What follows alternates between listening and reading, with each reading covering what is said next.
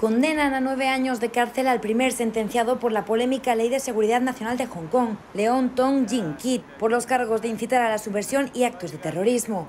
El 1 de julio de 2020, horas después de que la Ley de Seguridad Nacional hubiera entrado en vigor, Tong fue arrestado por investir con su moto a un grupo de policías durante las protestas antigubernamentales. Por el cargo de secesión, el acusado deberá cumplir seis años y medio entre rejas, mientras que por el cargo de terrorismo serán ocho, de los cuales dos y medio los tendrá que cumplir de manera consecutiva los de la acusación anterior, resultando nueve años en total. Tong había sido declarado culpable el pasado día 27, ya que el tribunal consideró que habría causado un gran daño a la sociedad y que sus acciones estaban dirigidas a intimidar al público para lograr objetivos políticos. La Ley de Seguridad Nacional, diseñada e impuesta por Pekín el año pasado, contempla penas de hasta cadena perpetua para supuestos como secesión, terrorismo o confabulación con las fuerzas extranjeras. Tong, que rechazó ambos cargos, ha estado bajo custodia desde su arresto y le han sido denegadas todas las peticiones de libertad bajo fianza solicitadas.